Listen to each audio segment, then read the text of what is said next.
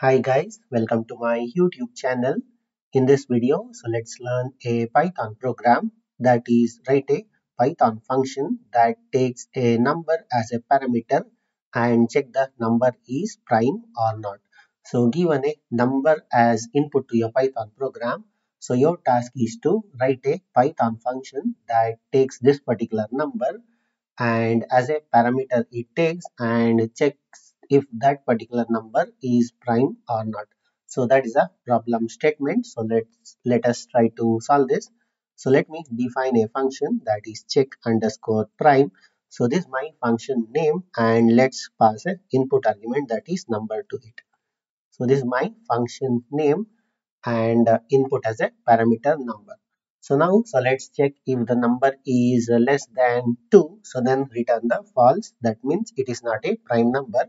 So let's use if that is number is less than 2. So then what you do is return false. So this is the first check will be performing if the as we know the number starts from 2. So if the number is less than 2 just return it is not a prime number. So now so let's uh, try to calculate the square root of the given number and uh, try to take a range from 2 up to the limit that is a range. So let's try to calculate the square root. So let me take a variable and uh, let's use the math module and import the square root function. So from math I need to import the square root. So this is the function we require. So now let's try to find the square root of the number that is let's provide the input argument and plus 1. So we need to, this is 1. So we need to convert this particular square root of a number to an integer type and try to add it to 1. So this is how we try to calculate the square root of a given number and uh, from 2 up to the limit that is this value. So we try to take the range and try to divide the number and check if the number is divisible or not so if that is divisible, so let's return the false.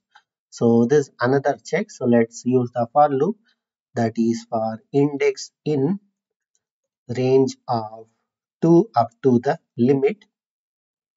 So we are taking a range of numbers from 2 up to the limit and trying to check if number is completely divisible by that is modulus the index is equal equals to 0. So if within this particular range. So if the number is completely divisible, then return the false. So once the for loop completes, so we have uh, that is we have taken care of all the checks for the prime number. So if the for loop exits, so let's return the true. So that means number is a prime number. Yeah, so this is a complete Python function that takes number as a parameter and check the number is prime or not. So in the main program, so that is let's take n and use the input function call to ask user to enter a number. Yeah, so this is the input that user provides to the main program.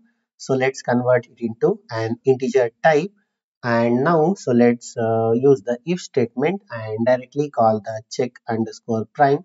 So this is my function and let's pass the input argument n to it. Yeah so if this particular uh, function returns true so let's try to print. The number is a prime number. Yeah so let's take else block and uh, here so let's try to print number is not a prime number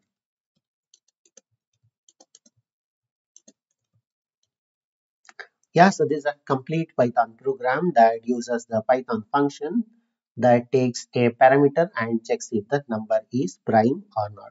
So let me execute this and let me show you how it works.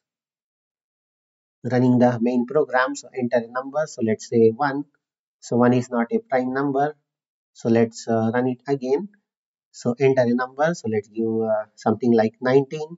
So you can see number 19 is a prime number so let me run it. So let's give 3. So you can see 3 is a prime number. Let's give something like 12. 12 is not a prime number.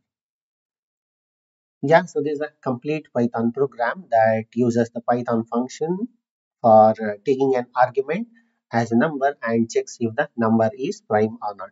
So I'll give this code in the description of this video. So that's it in this video. Hope you liked it. Thank you for watching. Bye.